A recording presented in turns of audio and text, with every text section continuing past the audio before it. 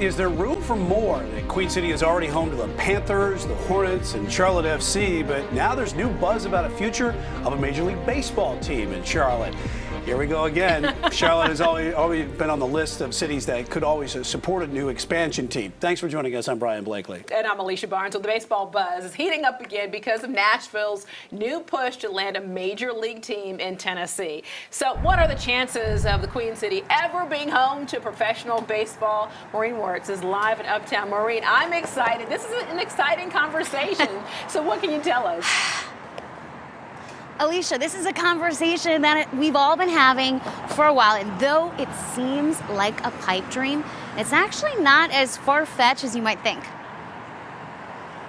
It's a view unlike anywhere else in baseball, where everyone can sit down and enjoy the game. Nobody cares. Nobody cares what party you're affiliated with. Nobody cares if you're rich. When it comes to baseball, Rick Curti cares a whole lot and has been plagued with one question for the last nine years. Washington, D.C.'s already had three teams. Why don't we have any? Charlotte has the Panthers, the Hornets, the Knights, and now Charlotte FC.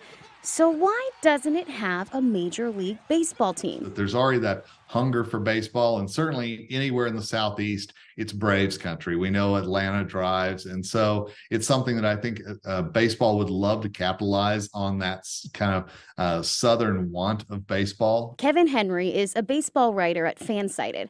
He says when the MLB is looking at Charlotte, it's not just baseball they'll be taking into consideration. Charlotte FC was a huge uh, test for MLB coming there because you had a pro sports team come in, really had no uh, previous, you know, expertise there or no previous lock there, and fans turned out for the game. If Charlotte does get a team, it's likely that a new stadium will have to be built because Truist Field isn't built to MLB standards. So out of that, hey, let's give Charlotte a good percentage. What do you say? Let's give them a, you know, 66% chance to land it. That's what I'm saying. Rick says he'll give his best pitch to those MLB higher ups who may be listening. We're one of the fastest growing cities, one of the fastest growing states. I mean, it's just uh, this would be a gold mine. A gold mine, sure. Better yet, a grand slam.